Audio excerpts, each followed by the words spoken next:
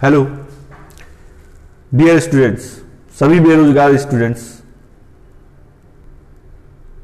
के लिए एक मूवमेंट चल रहा है और इस मूवमेंट का नाम दिया गया supporting the speak up for SSC railway bank and exams तो मुझसे भी कहा गया कि आप भी एक वीडियो पे वीडियो बनाइए तो बच्चों का थोड़ा सपोर्ट होगा।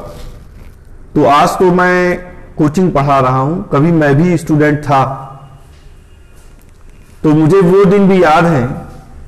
आज से आठ दस साल पहले के जब एसएससी बैंक रेलवे के कुछ इस तरह के एग्ज़ाम हुआ करते थे कि शायद ही कोई संडे होता था जिस दिन कोई एग्ज़ाम नहीं होता था। किसी किसी संडे को तो दो दो तीन तीन एग्ज़ाम हुआ करते थे। सड़क पे चलने की जगह नहीं रहती थी। लॉज में रुकने का जगह नहीं मिलता था। बच्चे स्टेशन पे सोया करते थे। एक दौर वो भी था। लेकिन अब अब तो अच्छे दिन आ गए हैं। अब बच्चे क्यों सड़क पे रहेंगे जब एग्ज़ाम नहीं होगा? पंद्रह पंद्रह साल से बच्चे रूम लेके लाज में रह रहे हैं। 2014, 13, 15, 16 का रिज़ल्ट अभी तक नहीं आया। आया है तो कोर्ट पहुँच गया है। और सरकार चाहती है कि मैटर सुप्रीम कोर्ट तक जाए, क्योंकि सुप्रीम कोर्ट में वकीलों की फ़ीस दस दस लाख रुपया है बीस बीस लाख रुपया है, वो सब जानते हैं कि बच्चा दो हियरिंग से ज़्यादा झेल नहीं पाएगा। ऐसी स्थिति बना दी। इतना ज़्यादा आत्मनिर्भरता ला रही है सरकार बच्चों के अंदर, इतनी ज़्यादा आत्मनिर्भरता ला रही है कि बहुत जल्दी वो दिन आने वाले हैं। अभी तो कुछ सब्ज़ी बेच रहे थे अब कुछ पकौड़े की भी दुकान लगाएँगे, चाय की भी लगाएँगे। दिक्कत इस बात की है कि खरीदेगा कौन जब सारे बच्चे पकौड़ा और चाय बेचेंगे?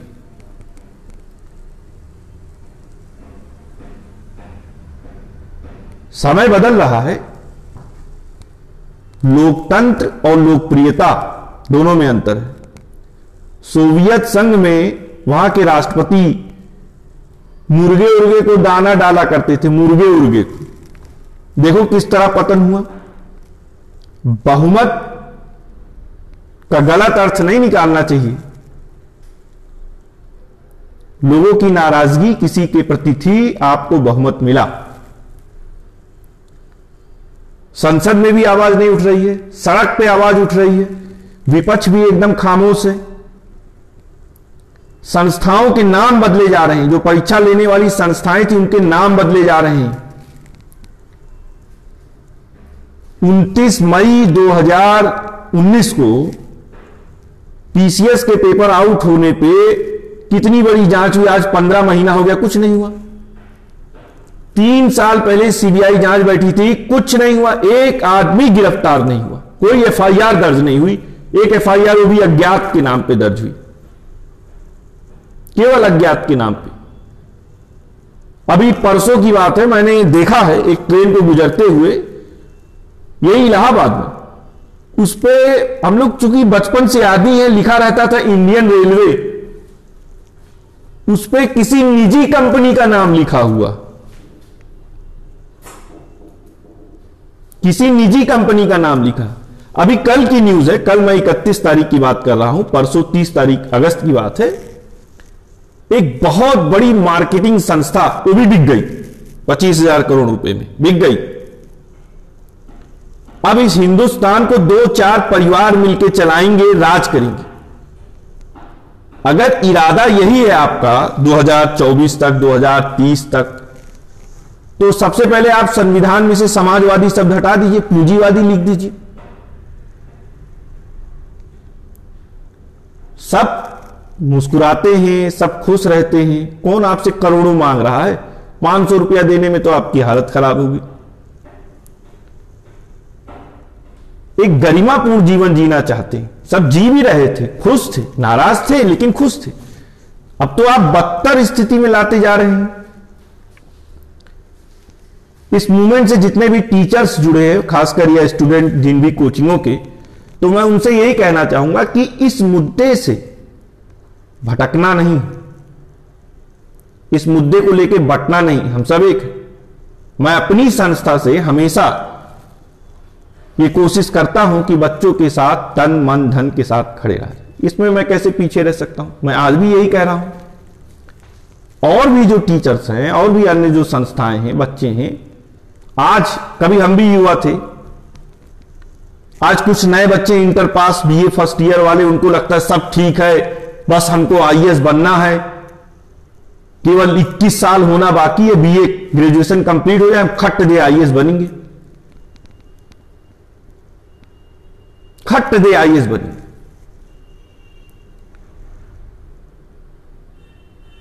पता नहीं मीडिया क्या है। अभी एक सेलिब्रिटी फैमिली है। अभी तीन चार दिन पहले सुन रहा था, उनके यहाँ बच्चा होने वाला जनवरी में, जनवरी 2021 में होगा। तो हम लोग खुशी मनाएँ। कौन सा कपड़ा पहनेगा, किस अस्पताल में होगा, खुशी मनाए। यही एक इश्यू है। न्यूज़ चैनलों पे एजेंडा देखिए 70 परसेंट तक क्या चल रहा है? क्या दिखाया जा रहा है? ये क्या झुंझुना आप दे रहे हैं? अभी एक महीना पहले इन्होंने एक झुंझुना दिया एनआरए, नेशनल रिक्रूटमेंट एजेंसी, एक भर्ती करने वाली संस्था होगी। ये क्या है? ये जो एसएससी बैंक रेलवे जैसे बीसों एग्ज़ाम कराएगी। पहले अलग अलग एग्ज़ाम होता था 20 20 25 25 हज़ार पद आते थे। दो दो ढाई ढाई लाख पद होते थे। अब कुल मिला के दो हज़ार, तीन हज़ार पद होंगे। बीच में पेपर भी आउट होगा। होगा कि नहीं, हुआ कि नहीं, ये कौन जानता? लेकिन जब आप टालने पे उतारोगे तो मैटर कोर्ट में जाएगा, जाँच बैठेगी। लड़का ओवर एज हो जाएगा। एक स्टूडेंट का जीवन कितना तनावपूर्ण होता। है ये वो लोग क्या जाने जो बिना कोई एग्ज़ाम दिए देश चला रहे एनआरए आपने बनाया आप बस एक मैंने देखा है कि सर, इस सरकार में एक चीज़ बहुत ज़बरदस्त है बहुत अच्छी पॉजिटिव थिंकिंग कि जो काम करना चाहती है इसका कोई कुछ बिगाड़ नहीं पाता कर ले जाती है। ये तो बड़ी अच्छी चीज़ है। आपने वेतन बढ़ाने वाला विधेयक पाँच मिनट में पारित करवा दिया दोनों सदनों से। दस दस बजे रात तक सदन बैठा है। तो एक प्रोजेक्ट आप लेके आइए एक विधेयक लेके आइए कि हिंदुस्तान में ग्राम प्रधान से लेकर प्रधानमंत्री तक जो भी बनना चाहता है, वो इसी एनआरए जैसी एक एजेंसी बनाइए और परीक्षा करवाइए।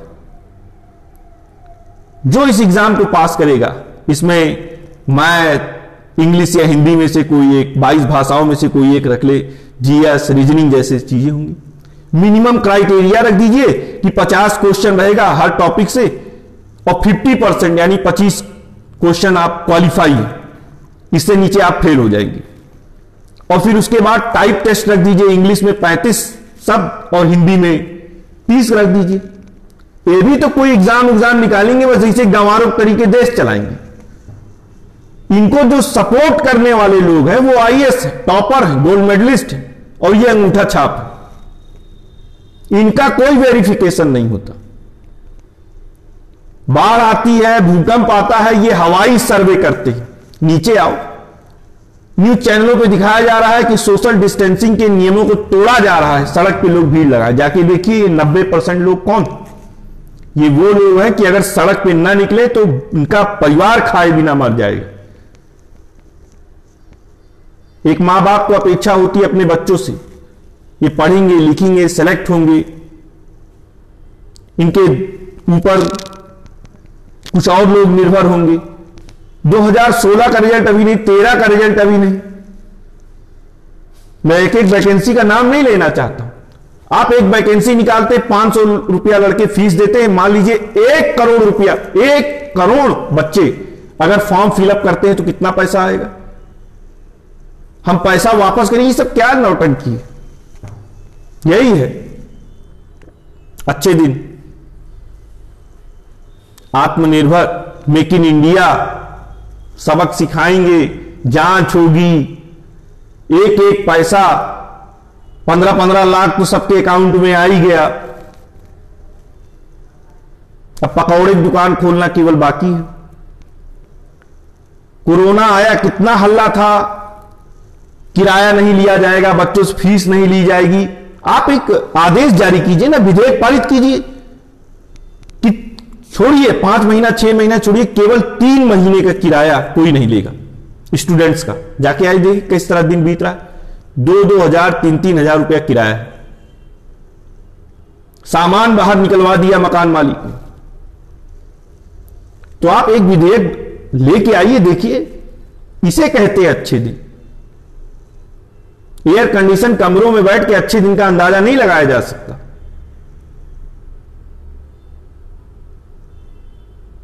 कितना आक्रोश है। कभी उसका भी एहसास है आपको? अभी देखा होगा।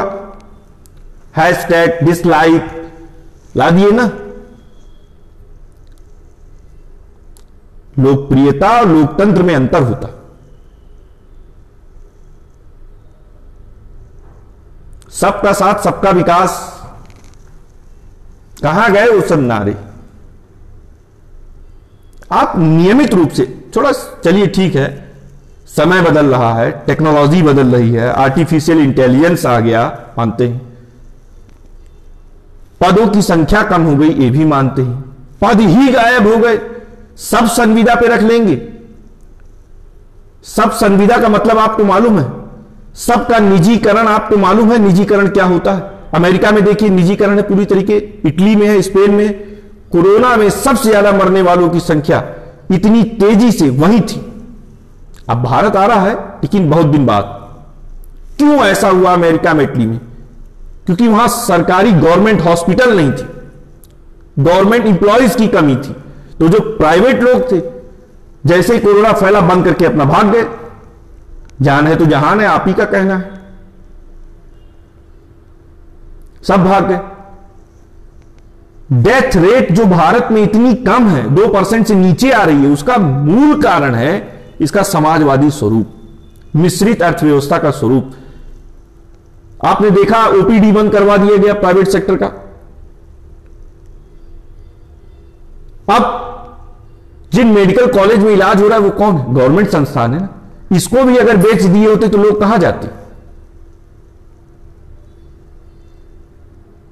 इन्हीं बैंक कर्मचारियों के दम पे आपने अपने संसाधनों को गरीब तबके तक पहुँचाने की कोशिश की। अगर ये भी निजी होते तो कैसे काम चलता?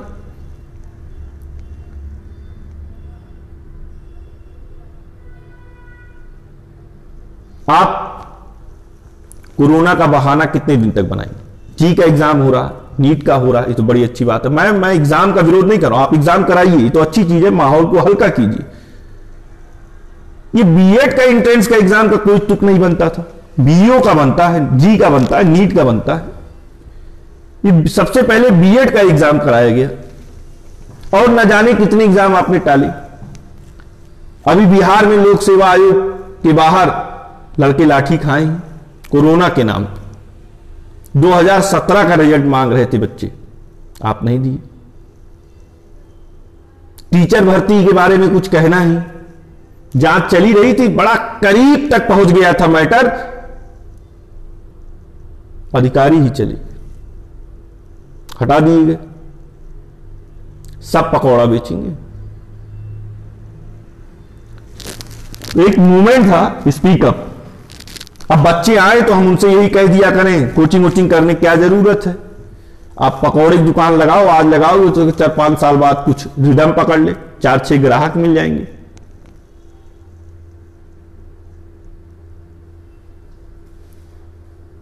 राजस्थान में जो कुछ हो रहा था मध्य प्रदेश में जो कुछ हो रहा था, तब कोरोना नहीं था। तब सोशल डिस्टेंसिंग का पालन नहीं हो रहा था।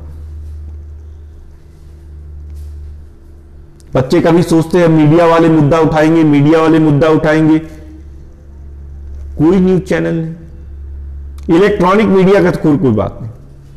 प्रिंट मीडिया में थोड़ा बहुत आता था, अब वो भी धीरे धीरे कम हो रहा।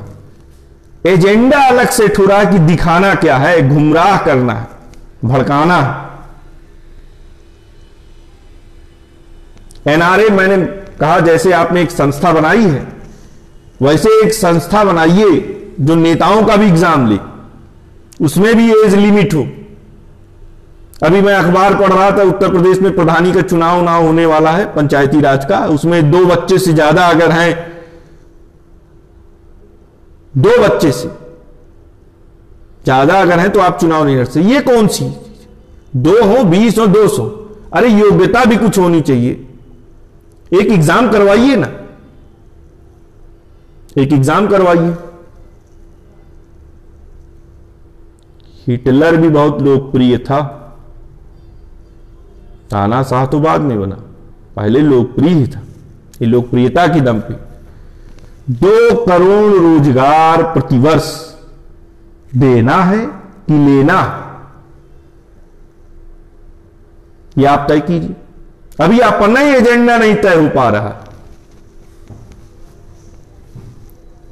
ये तो कोरोना था, जिसकी वजह सारी पोल खुल गई व्यवस्था की, कि बड़े बड़े पदों पे निर्णय लेने वाले लोग कैसे हैं, मजदूरों के साथ आप कैसे पेश आए, कर्मचारियों के साथ, विद्यार्थियों के साथ अभी तीन चार महीना पहले एक नाम सुनाई दे रहा था, सोनू सूद। एक आदमी इंतज़ाम कर सकता है, पर 28 राज्यों की सरकारें, एक केंद्र सरकार मिलकर व्यवस्था कायम नहीं कर सकती। काम करने का तरीका होता है। आज अब सब चीज़ों का निजीकरण कर रहे हैं। अगर यही मुसीबत आज से 20-25 साल बाद आती है तो जब कोई कर्मचारी ही नहीं रहेगा तो आप कैसे मुद्दे को टैकल करेंगे? बताइए।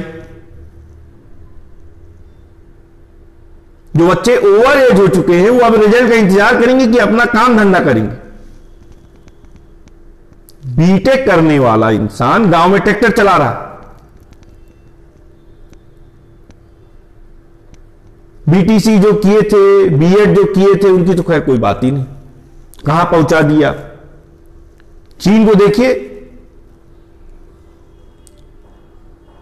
वुहान से निकला कोरोना वायरस, आज वहाँ मुद्दे को कितना टैकल किए, कंट्रोल किए, जो कंपनियाँ वुहान को छोड़ के जा रही थी, अब उनके इरादे बदल गए।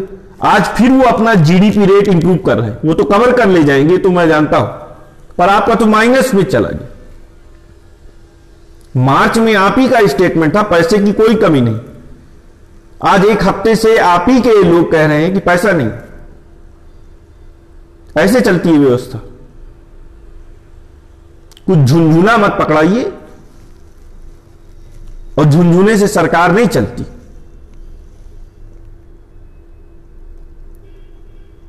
क्या जवाब दिया जाए बच्चों को? अभी तो सब हैशटैग कर रहे हैं। कुछ दिन बाद ये सड़क पे होंगे। विपद से भी इनका भरोसा खत्म हो चुका है। आज विपक्ष संसद में नहीं, विधानसभाओं में नहीं, हर व्यक्ति के अंदर धीरे धीरे विपक्ष बनता जा रहा है। और यह बहुत खतरनाक स्थिति है। ये बहुत खतरनाक स्थिति है, इसे आप कंट्रोल नहीं कर पाएँगे। ये है मन की बात। मसालेदार नहीं, मन की बात। इसे मन की बात कहते हैं। मन की बात का मतलब होता है दो तरफा। आप खुद बोलिए भी और दूसरे की सुनिए भी। इसे मन की बात कहते हैं। तो ठीक है फ्रेंड्स, ये मेरा फ़र्ज़ था। मैंने बच्चों को भी व्यक्तिगत रूप से बताया था, आपसे भी बता दे रहा हूँ कि इस मूवमेंट में हमारी संस्था जिनित क्लासेस झलवा प्रयागराज तन मन धन से आपके साथ है। आप इसमें निश्चिंत रहें। ठीक है। Have a nice day thank you